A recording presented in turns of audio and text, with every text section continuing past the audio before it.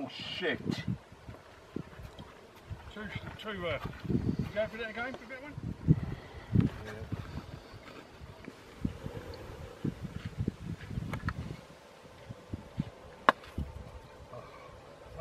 Sorry.